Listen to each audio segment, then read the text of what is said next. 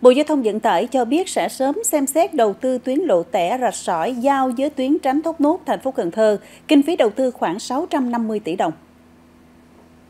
Trước đó, cử tri thành phố Cần Thơ kiến nghị cần sớm đầu tư xây dựng tuyến tránh thành phố Long Xuyên đoạn từ giao với tuyến lộ tẻ rạch sỏi đến giao với tuyến tránh thốt nốt để kết nối giao thông đồng bộ toàn tuyến, đảm bảo an toàn giao thông và chia sẻ lưu lượng giao thông trên tuyến quốc lộ 91 qua địa bàn. Bộ Giao thông Vận tải cho biết do khó khăn về nguồn lực nên chưa thể bố trí vốn để đầu tư đoạn tuyến trong giai đoạn 2021-2025. Bộ ghi nhận kiến nghị của cử tri trong quá trình xây dựng kế hoạch đầu tư công giai đoạn 2026-2030,